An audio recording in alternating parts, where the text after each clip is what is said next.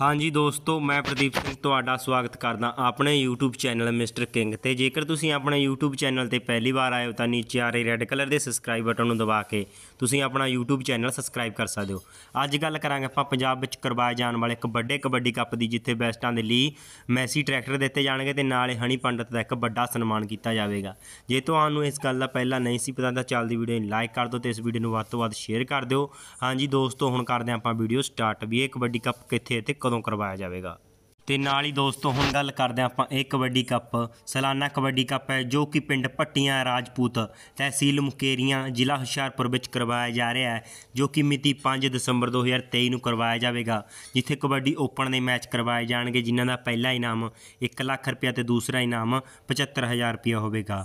Best raider ਤੇ best ਜਾਫੀ ਦੇ ਲਈ ਨਵੇਂ ਮੈਸੀ ਟਰੈਕਟਰ ਦਿੱਤੇ ਜਾਣਗੇ ਤੇ ਨਾਲ ਹੀ ਦੋਸਤੋ, ਇਸ ਕਬੱਡੀ ਕੱਪ ਦਾ ਲਾਈਵ ਕਬੱਡੀ ਜੰਕਸ਼ਨ ਦੇ ਆਫੀਸ਼ੀਅਲੀ YouTube ਚੈਨਲ ਉੱਤੇ ਲਾਈਵ ਚਲਾਇਆ ਜਾਵੇਗਾ। ਜੇ ਤੁਹਾਨੂੰ ਸਾਡੀ ਇਹ ਇਨਫੋਰਮੇਸ਼ਨ ਚੰਗੀ ਲੱਗੀ, ਚੱਲਦੀ ਵੀਡੀਓ ਨੂੰ ਲਾਈਕ ਕਰਨਾ ਤੇ ਨਾਲ ਹੀ ਦੋਸਤੋ, ਹੁਣ ਤੁਹਾਨੂੰ ਦੱਸ ਦਿਆਂਗੇ ਵੀ ਹਣੀ ਪੰਡਤ ਦਾ ਇਸ ਕਬੱਡੀ ਕੱਪ ਤੇ ਕਾਦੇ ਨਾਲ ਸਨਮਾਨ ਕੀਤਾ ਜਾਵੇਗਾ। ਤੇ ਨਾਲ ਹੀ ਦੋਸਤੋ, ਸ਼ੇਖਰ ਯੂਐਸਏ ਵੱਲੋਂ ਇੰਟਰਨੈਸ਼ਨਲ ਕਬੱਡੀ ਪਲੇਅਰ ਹਣੀ ਪੰਡਤ ਦਾ ਨਵੇਂ ਮੋਟਰਸਾਈਕਲ ਨਾਲ ਇਸ ਕਬੱਡੀ ਕੱਪ ਤੇ ਵਿਸ਼ੇਸ਼ ਤੌਰ ਤੇ ਸਨਮਾਨ ਕੀਤਾ ਜਾਵੇਗਾ। ਤੇ ਨਾਲ ਹੀ ਦੋਸਤੋ, ਸਾਡੇ ਇਸ YouTube ਚੈਨਲ ਵੱਲੋਂ ਹਣੀ ਪੰਡਤ ਨੂੰ ਮੁਬਾਰਕਾਂ ਇਸ ਸਨਮਾਨ ਵਜੋਂ। ਜੇ ਤੁਹਾਨੂੰ ਸਾਡੀ ਇਨਫੋਰਮੇਸ਼ਨ ਚੰਗੀ ਲੱਗੀ ਤਾਂ ਚੱਲਦੀ ਹੀ ਵੀਡੀਓ ਨੂੰ ਲਾਈਕ ਕਰਨਾ। ਇਸ ਤਰ੍ਹਾਂ ਦੀਆਂ ਹੋਰ ਵੀਡੀਓ ਦੇਖਣ ਲਈ ਆਪਣੇ YouTube ਚੈਨਲ ਨੂੰ ਕਰ ਲਓ ਸਬਸਕ੍ਰਾਈਬ ਤਾਂ ਜੋ ਤੁਹਾਨੂੰ ਸਾਡੀ ਵੀਡੀਓ ਦੀ ਨੋਟੀਫਿਕੇਸ਼ਨ ਸਭ ਤੋਂ ਪਹਿਲਾਂ ਮਿਲ ਸਕੇ। ਧੰਨਵਾਦ।